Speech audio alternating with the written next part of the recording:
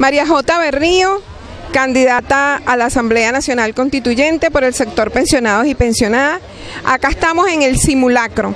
Hoy estamos aquí aprendiendo cómo es que es este proceso de votación, que es un proceso para construir la paz para construir el diálogo entre todos los venezolanos y venezolanas.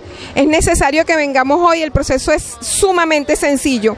Es más difícil cuando nos lo explican que cuando lo hacemos. Entonces les recomiendo a todos y todas, vengan hoy acá a, aprender cómo es el proceso de votación nuevo. Estamos votando por el territorio y estamos votando por los sectores. Entonces, pero es muy, muy fácil. Los invito a venir hoy al simulacro. Soy la número 36 de la del sector de pensionados y pensionadas. bueno, por supuesto, la primera propuesta para los pensionados y pensionadas es que nuestra pensión sea considerada constitucionalmente, sobre todo de aquellas personas que trabajaron toda su vida, pero no, no cotizaron, ¿verdad? Porque no eran de empresas. Entonces, esas personas, eso tiene que estar en la constitución con rango constitucional las pensiones y también el acceso a las medicinas.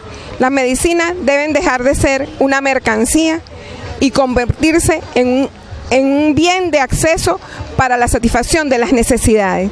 Esas son algunas de las propuestas que he recogido y la, real, y la creación en cada comuna, porque es el Estado comunal lo que queremos, en cada comuna la creación de espacios de encuentro de las personas de la tercera edad no solo la familia, no solo las mujeres de la familia deben cuidarnos a las personas de la tercera edad, la comunidad tiene que brindarnos su cuidado y nosotros y nosotras queremos esos espacios para encontrarnos y transmitir nuestra sabiduría.